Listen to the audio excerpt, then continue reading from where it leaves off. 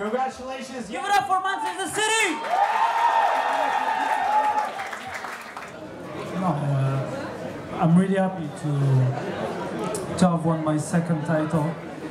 And uh, when you play for Manchester City, every year you expect to win the trophies because of the ambition of the owners and the quality in our team. You want to win every trophy. How important is it to feel support from the fans?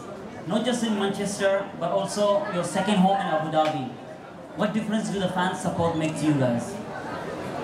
Uh, that's unbelievable because uh, I didn't play a lot uh, this second half of season because I was injured and uh, when the game finished, our last game, I came on the pitch and uh, it was very nice to, to be with the people, with the fans uh, on the pitch and uh, for me it wa- was great. What kind of a game are you expecting on Thursday against Al Ain?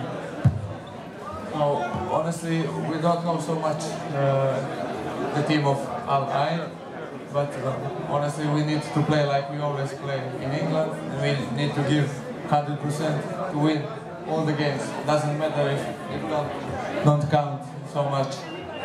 We're gonna prepare good the game.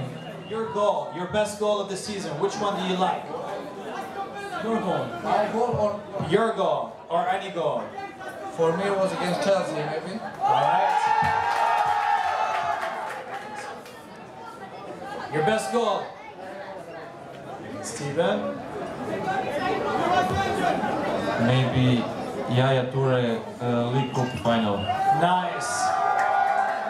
Samir?